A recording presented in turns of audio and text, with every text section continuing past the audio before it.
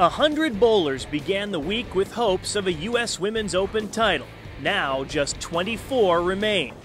Six of the women advancing to match play have won this tournament before. Two of them have done it twice, including top qualifier Liz Johnson, who says the mental game is just as important as the physical once the matches start just uh, you gotta just gotta keep focused. You know, it, it's still 24 games, and you still gotta take game by game, uh, shot by shot, and um, you can't. Sometimes you, you, tend to look ahead. You know what's what's to happen later. You know the next day or, or, later that night, and you just you gotta take everything one at a time because it's it's a very long format.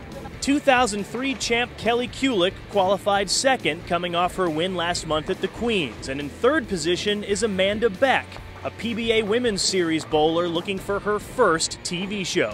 I was pretty much in the same position going into last year and uh, the last Women's US Open, and I, I let it go. And, and I was really disappointed and really upset with myself. So, you know, I really just want to get there, and I've been working really hard to try and get there. You know, tour was tour was a disappointment for me this year, and um, you know, I just want to prove to everyone that I belong here.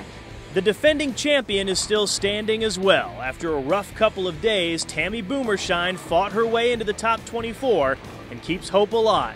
Last year I had a huge first round and it sort of gave me a bit of cushion that I could use for the rest of the qualifying. This year was completely opposite. I struggled from the start. I was always behind. I was always trying to play catch up. So um, but yeah, I feel really good. I, I, could have given it up at any moment. I got discouraged a hundred times, and I just stuck with it, and finally was able to get a couple of good games together. Round robin match play begins on Monday, 24 games to go. Then, the top five will advance to the live TV finals Wednesday night at 8 Eastern from the International Training and Research Center in Arlington. I'm Matt Lawson for Bowl.com.